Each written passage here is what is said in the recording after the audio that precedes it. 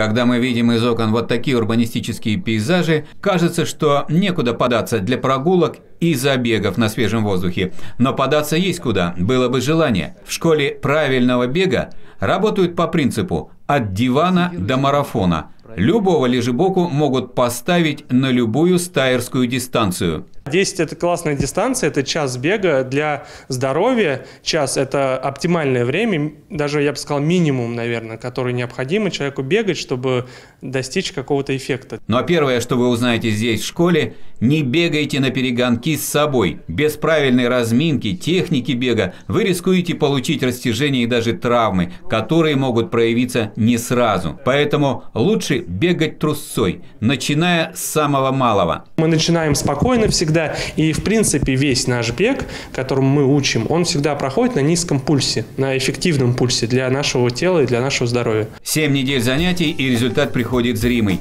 Снижение веса, улучшение тонуса и настроения, нормализуется давление, отступает диабет. Эту идею подхватили в общественной палате. А что если организовать праздник бега под девизом «Забег не сахар». Забег благотворительный для сбора средств в фонд помощи детям. Увы, среди них диабет тоже уже не редкость.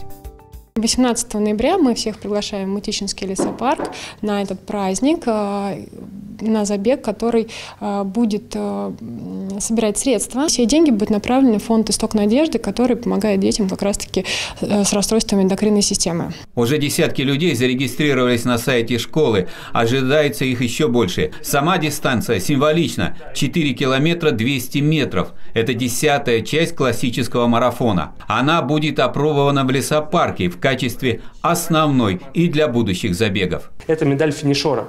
То есть эта медаль дается каждому, кто преодолел дистанцию, кто дошел до конца. Медаль получает каждый, кто пробегает. То есть э, спортивный есть интерес, конечно, и есть интерес, ну, скажем так, и идейный. Да, идейный, в первую очередь идейный. А идейный интерес прост и понятен. Здоровый образ жизни – это здоровье нас и наших детей. Сергей Берзин, Денис Петров – Информационная программа «День».